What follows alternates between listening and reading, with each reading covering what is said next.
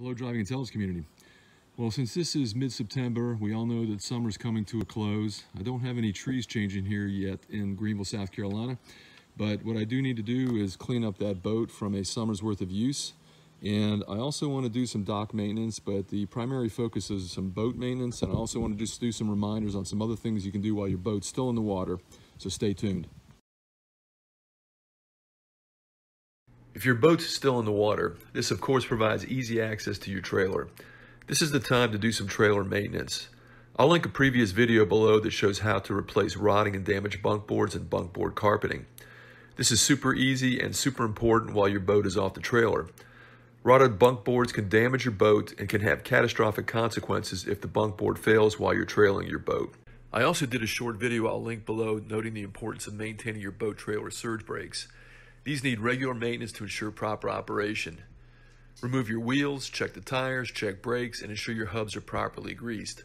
All of these items are much easier without the boat on the trailer. Finally for me, I'm going to repaint one of my fenders while the boat is off to eliminate rust and corrosion. Before I move on to maintaining my boat, here's a final boat trailer checklist which includes checking your trailer lights and tongue coupling operation. As most of you know, keeping your boat clean during the season is a challenge.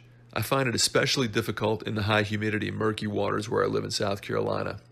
For that reason, I need effective boat cleaning products, and for this video, Better Boat sent me some of their cleaning products to try on my 1999 Sanger DLX competition ski boat. Starting from the left, Better Boat sent me this vinyl cleaner which is extra strength, and together with the boat erasers and an upholstery brush set, should be used to remove a lot of the grime and buildup that's been rubbed into my vinyl. Now one of the big problems I have with my boat is that under my dock, I get a lot of spider poop that just drops on the vinyl and it stains that vinyl. It's really hard to get off. So I'm looking forward to see how this removes those spider poop stains, which are especially bad here where I live in South Carolina.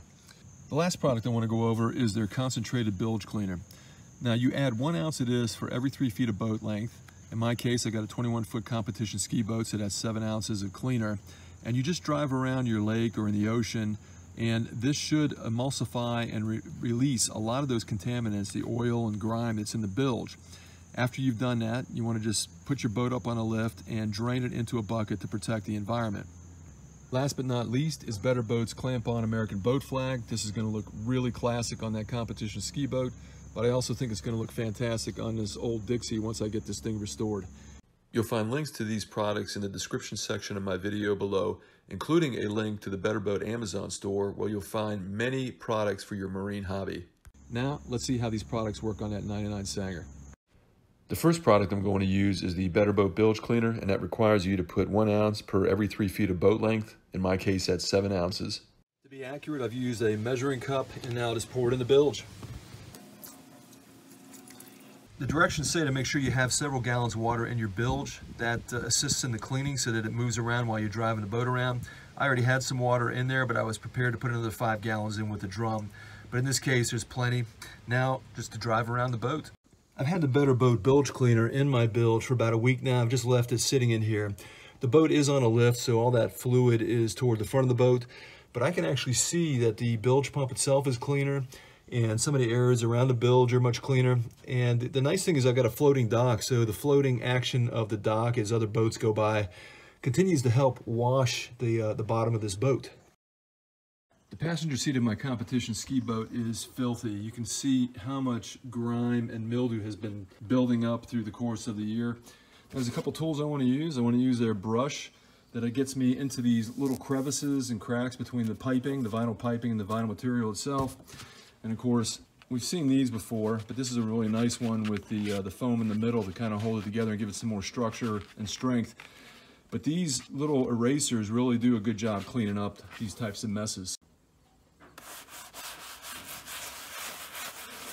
It says to rub it in and let it sit for about 30 seconds and then to repeat if necessary. But you can see that it's done a dramatic job on this vinyl already. And this brush is fantastic to help get into that crevice that I could not get into with the sponge.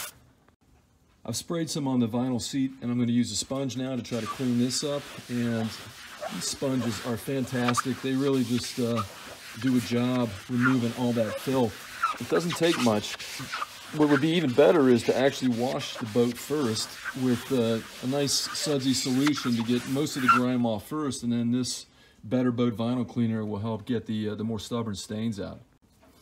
I'm actually being pretty gentle with this brush, so I'm not trying to push it down, and, and the bristles are very uh, fine and gentle, so they're not going to do any damage to this vinyl but uh, it is doing some cleaning. This one is a little worse than the others. Uh, actually, my dog, this is his seat, so he sits here and probably leaves a lot more grime than, uh, than the average human. And as we can see here, it's dramatically cleaner. Still a little bit of dirt built in there. I'm gonna have to scrub it again a couple more times with this vinyl cleaner, but it's definitely a huge improvement over what I showed earlier in the video.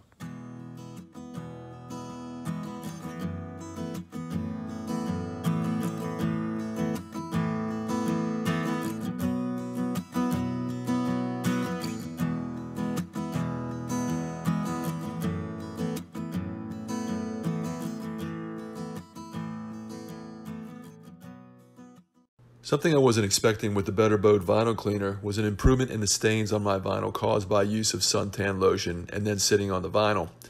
As you can see, my white vinyl has an orange tint from using spray-on suntan lotion which has been impossible to remove. The Better Boat vinyl cleaner, while not completely removing the suntan lotion stains, has reduced their appearance. I can only assume that if I had cleaned the vinyl after every boat outing, I could have prevented this problem.